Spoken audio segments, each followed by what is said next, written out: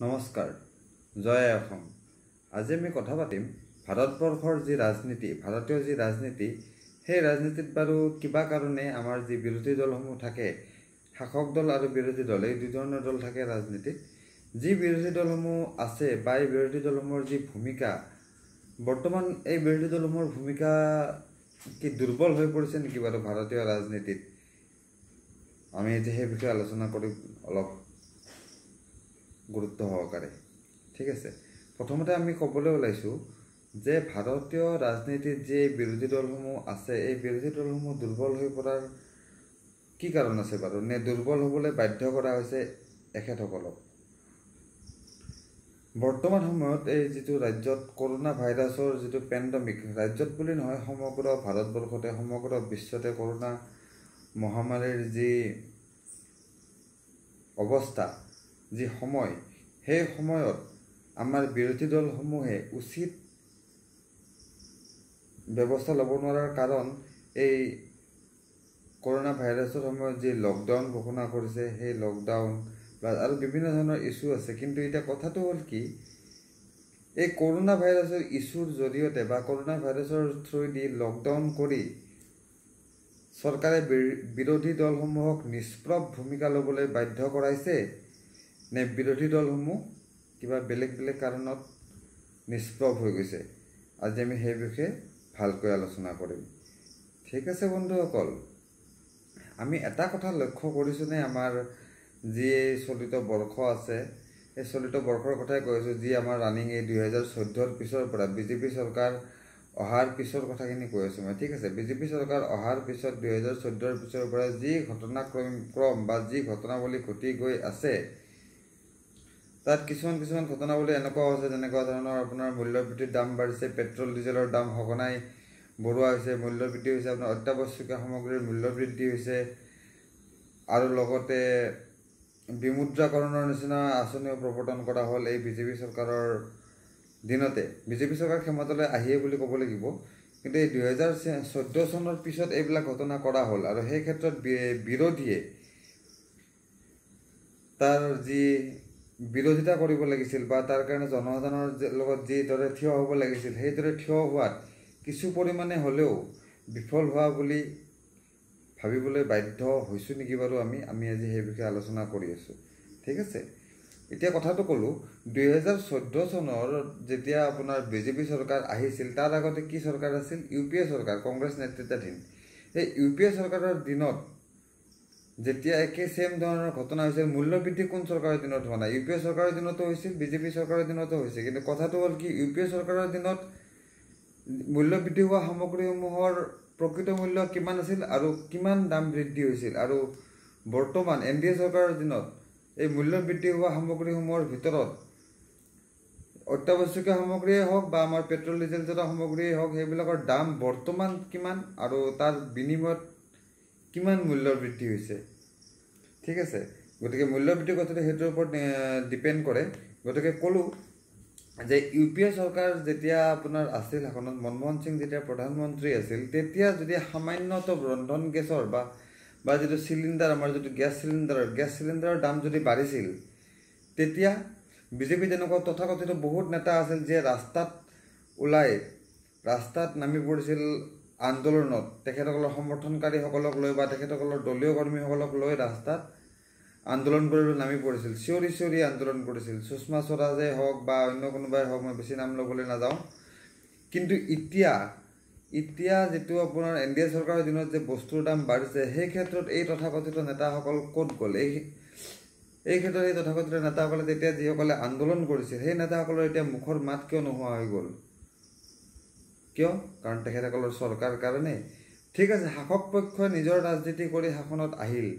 কিন্তু এতিয়া সেই শাসনত অহাৰ পিছত শাসক পক্ষই নিজৰ যিসমূহ দায়িত্ব সেই দায়িত্বসমূহ সুচাৰুৰূপে পালন কৰি গৈ আছেনে নাই সেই বিষয়ৰ ওপৰত চকু ৰাখিবলৈ বা চকু ৰখাৰ দায়িত্ব কাৰ?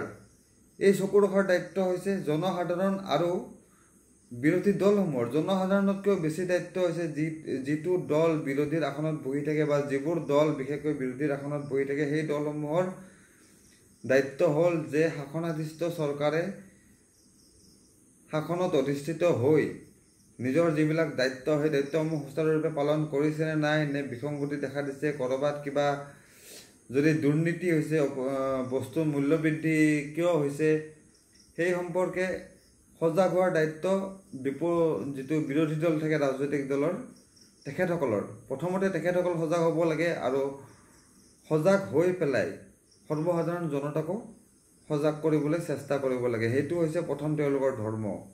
আৰু জনসাধাৰণৰ যিবিলাক সমস্যা থাকে যিবিলাক জনসাধাৰণৰ অভাৱ অভিযোগ সমস্যা এই সমস্যাসমূহ সমূহৰ ওপৰত যদি শাসক পক্ষই বা শাসনাধীষ্ঠ চৰকাৰে যদি গুৰুত্ব নিদিয়ে তেতিয়াহ'লে সেই অসুবিধাসমূহ চৰকাৰৰ আগত উপস্থাপন কৰাটো যিটো ৰাজনৈতিক দল বিৰোধী দল হিচাপে থাকে সেই দলটোৰ এটা ডাঙৰ দায়িত্ব বা গুৰু দায়িত্ব বুলি মই ভাবোঁ।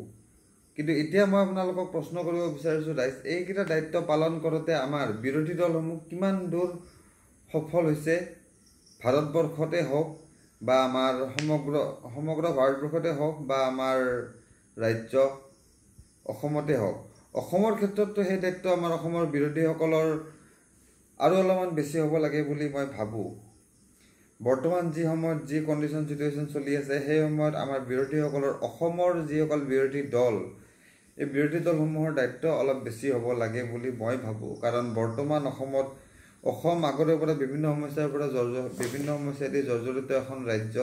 ইয়াত নিবনুৱা সমস্যাও বহুত নিবনুৱা সমস্যাৰ লগতে ইয়াতে বান সমস্যা লগতে আৰু নানান ধৰণৰ সমস্যা আছে। বিদেশী আপোনাৰ বিদেশী বাংলাদেশীৰ সমস্যা বুলিয়ে ক'লোঁ। বিদেশী বাংলাদেশীৰ সমস্যা আৰু লগতে অবৈধ যিবিলাক বাংলাদেশী ইয়াতে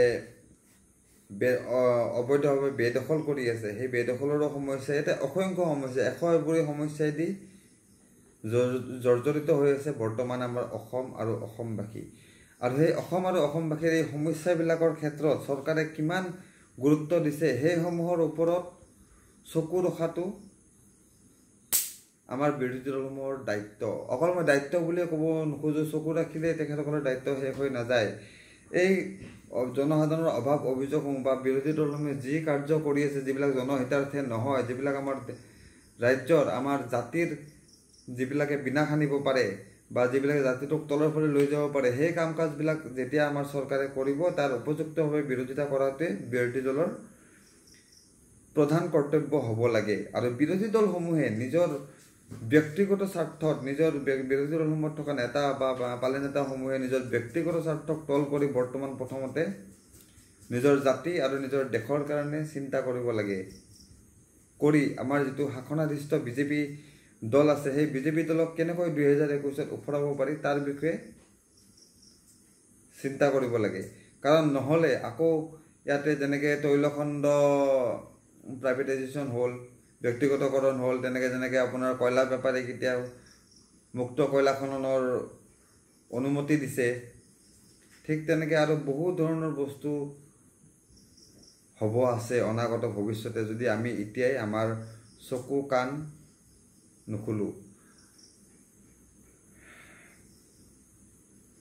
গতিকে বিশেষ নকওঁ ৰাইজ মইতো কোনো ৰাজনীতিজ্ঞ নহয় তথাপি মই যিখিনি জানো যে বিৰোধী দল এটাই কেনেকুৱা ধৰণৰ ভূমিকা ল'ব লাগে বা বিৰোধী দলৰ নেতাবিলাকৰ কেনেকুৱা ধৰণৰ ভূমিকা হ'ব লাগে ৰাজনীতিৰ ক্ষেত্ৰত সেই বিষয়ে কিবা মই অলপ কথা আজি আলোচনা কৰিলোঁ। আপোনালোকৰ লগত মোৰ মতামত মই দাঙি ধৰিলোঁ। যদি আপোনালোক মোৰ মতত যদি আপোনালোকৰো একমত হয় মোৰ মতৰ লগত তেতিয়াহ'লে আপোনালোকে মোক এইটো বস্তু কমেণ্ট ছেকশ্যনত জনাব।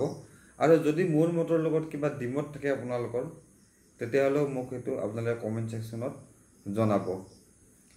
আপোনালোকৰ আশীৰ্বাদ পালে মই আগলৈকে আকৌ এনেকৈ ভিডিঅ' আনি থাকিবলৈ চেষ্টা কৰিম। আপোনালোকৰ বাবে নতুন নতুন বিৰোধী দলে মুখ খোলক নোখোলক চৰকাৰৰ যিবিলাক দমন নীতি বা দুৰ্নীতি যদি মোৰ চকুত পৰে তেতিয়াহ'লে সি নিশ্চয় খোল খাবই।